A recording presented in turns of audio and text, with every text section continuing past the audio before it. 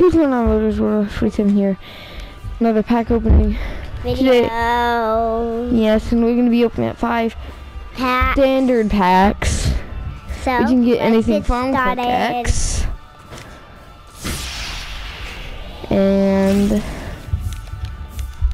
no, nothing good. That's very good in this pack.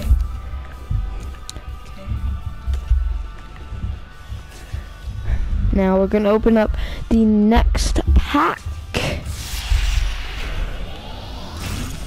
And it looks like we're not gonna get anything special either in this pack. So open up the next pack. Yeah. Open up the next pack. I know, it's still sitting there. And who are we gonna get in this one?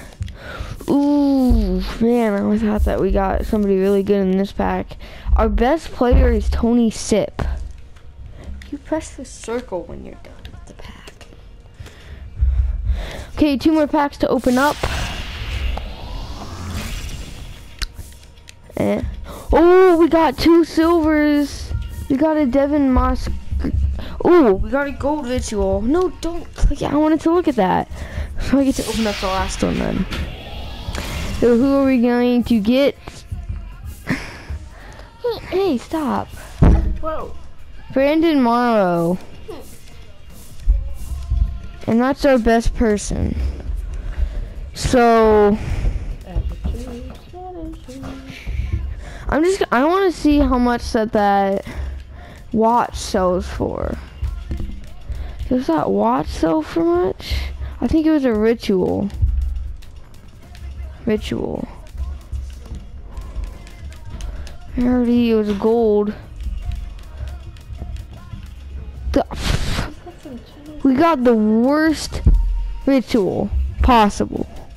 Just about. Ah, darn it. I have any things that I got really good at because of this. I'm doing pretty good on that. That, that. Six, seven, eleven. You got some Chinese guy buying your stuff and you didn't even have an ad in the paper. I don't know how he got to your ad.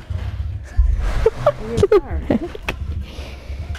So it looks like I'm not going to get any of them soon. So I hope you enjoyed the video. I might have one more pack opening throughout this um ye- throughout this year. And I think I'm going to do a pack opening as soon as I think I'm going to do the last pack opening as soon as um MLB 16 the show comes out. And then when that comes out I'm going to open up 20 packs. And then the next thing I'm going to open up a spring training standout if they have that still. If they're going to have that during um after spring training. So that's it for this video